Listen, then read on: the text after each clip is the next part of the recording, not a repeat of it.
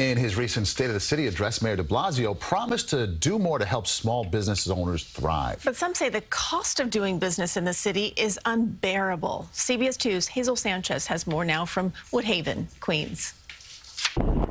Schmidt's Candy on Jamaica Avenue in Woodhaven, Queens has been around since 1925, founded by Margie Schmidt's grandfather.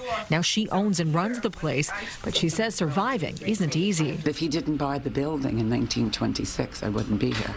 The rents are exorbitant. We have to save ourselves from the forces of greed. This month in the state of the city, Mayor de Blasio unveiled his blueprint to save the city, which includes plans to provide resources to help small business owners stay in their shops. We're reducing fines further. We've done it before. We're going to do that more. So when you hear Mayor de Blasio say in his State of the City that he is out to save small businesses, Oh my God, it was so phony.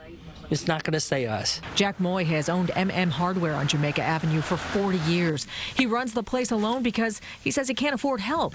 He took down his store sign and replaced it with a makeshift one, fearing fines from an archaic 50 year old law. Everything's pick on the small business now. do you feel like the city's on your side and the side of small businesses? Or No, no, no, no, because there's so many layers of nonsense and rules. Schmidt says the city almost fined her for showcasing her grandfather's scale.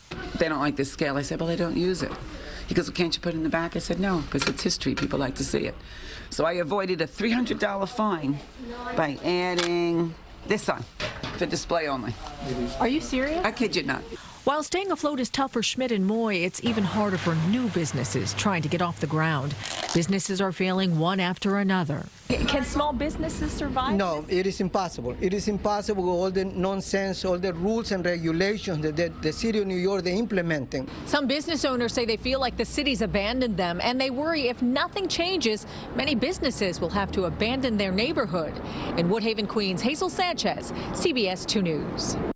Now, in the State of the City address, the mayor also promised that he would provide free lawyers and fair loans from trustworthy lenders for low income businesses.